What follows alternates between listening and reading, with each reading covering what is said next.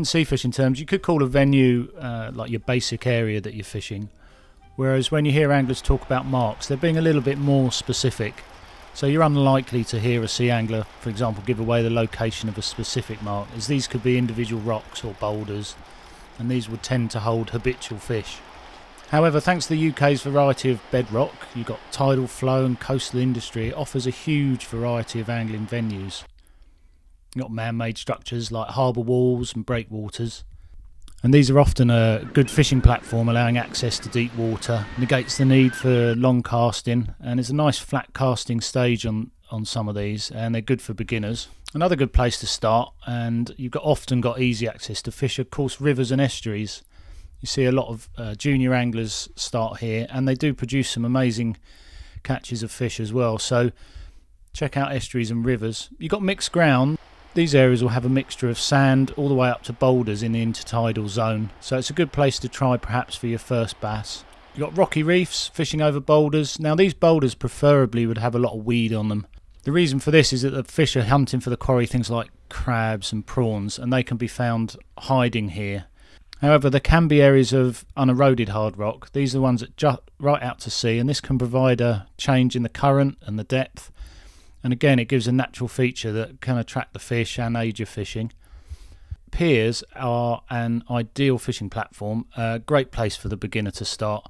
A lot of people start their sea angling on a pier and you can learn from other anglers of course. You can have a safe fishing platform, it's usually nice and um, secure. The pier structure is also attractive for fish as well um, and it provides that access to deeper water again without the need for a large cast. Even large, flat, open beaches can fish well. Uh, they've got a large tidal zone. Surf beaches, things like the southwesterly facing storm beaches as well, can be a magnificent place to catch fish. Uh, Inch Strand in Ireland, for example. And these venues are very interesting after a storm. They throw up all sorts of catches. And you've got your deep water rock marks. These are typical of the West Country, North Wales, places like the Llyn Peninsula and also huge parts of Scotland. And the bedrock itself doesn't dissolve in the water, so you don't get that cloudy sort of look to the sea that you'd get on the south coast where there's chalk, for example. So, where do you start? Well, the obvious choice is perhaps start close to where you live. Uh, have a look at some of the roads leading out to the coast. If you're close to the sea, then this opens up a lot of possibilities. You've got the added advantage of being able to pick and choose the weather conditions, tidal states, and if word gets out, for example, that the mackerel are in or there's some good bass being caught, you can get down as soon as possible. But if you perhaps lived in the east of the country, you'll find miles and miles of open beaches. This is the Suffolk and Norfolk coastline, for example. Uh, certainly a good place to get really good at casting. You've got the southwest. This will provide ample of opportunity for wide range of angling techniques. Scotland has some huge inland lochs. Um, I'll provide a few links to some videos for fishing in Scotland after this as well. Um, if you're up that way, you might also consider your access to these areas. Um, so start to look at the names of the venues close to you.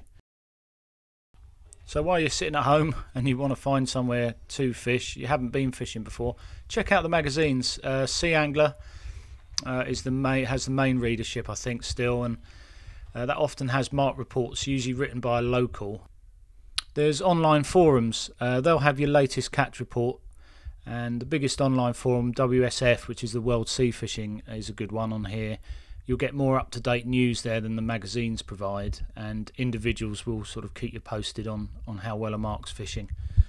If you're just starting out, there's a number of great piers in the UK. Uh, you can definitely find a few locals to get tips from, uh, as they'll often fish the venue regularly and respect their space. But I find most anglers are, are happy to reach out and give you a hand on piers as well. So that's got the other other advantage.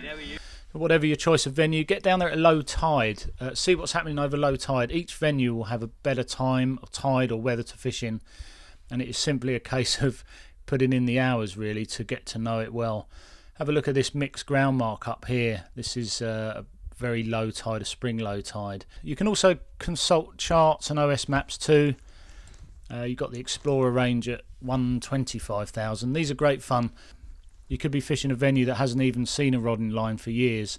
So don't be too afraid uh, when you get a bit more confident to go off the beaten track.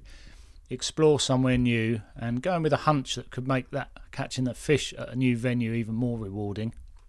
Uh, it does sound a bit of a cliche, but do try and think like a fish. In our video on bass marks, there are some commonalities, and in time you'll see those. Our podcast with bass expert as well, Shane Joy, he talks about how to fish a fishing mark for the first time. I'll, I'll put a link for that at the end of the video as well.